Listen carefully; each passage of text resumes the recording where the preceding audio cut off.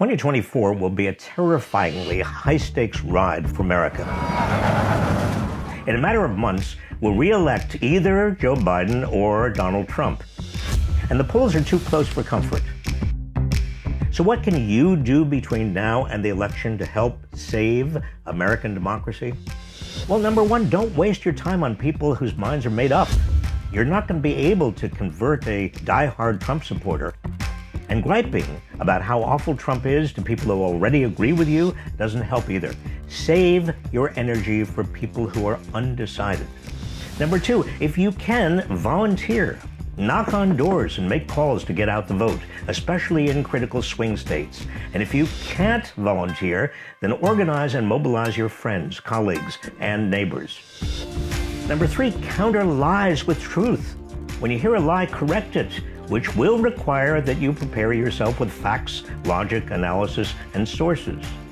Number four, do not tolerate bigotry and hate. Call it out, stand up to it, denounce it. Number five, be compassionate. Don't resort to violence, name calling, bullying, or any of the other tactics that Trump and his core followers use. Number six, demonstrate, but don't mistake demonstrating for political action. You might find it gratifying to stand on a corner with a sign asking drivers to honk if you hate fascism, but that's as politically effective as taking a warm shower. Organize people who don't normally vote to vote for Biden.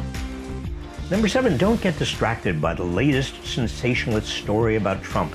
Don't let the media's short term attention span divert your eyes from the prize. What's at stake is the survival of American democracy during one of the greatest stress tests it has had to endure, organized by one of the worst demagogues in American history. I cannot overstate how critical the outcome of the coming months will be to everything we believe in. The last election came down to roughly 44,000 votes in key swing states. This one may be even closer.